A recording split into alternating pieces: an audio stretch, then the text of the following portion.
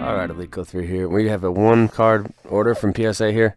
Uh, the service level on this was one of the more expensive ones just because of the declared value that I I uh, put on the sheet. And it was very pricey to get this card slabbed, which uh, it always sucks paying that premium, but if you want to get them slabbed, you kind of have to do it. So 79 bucks to get this one slabbed. and but it is a neat card, and I didn't have it for the uh, LeBron James registry, and it is the Bowman Chrome Refractor. So it's got some great shine to it. It it did get the eight, which is about what I expected. I mean, obviously you can see it's not centered very well. It's a lot fatter on the left there, and that's that's kind of like the norm if you're gonna buy high-end cards like this raw.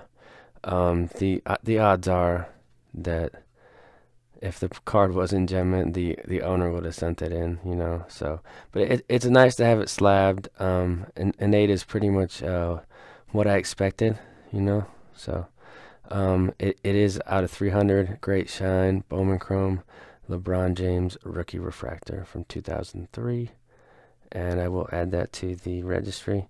Not sure how long it took, um, because it's kind of weird. Like you'll send in send an order off to PSA and they log into their system at a certain time.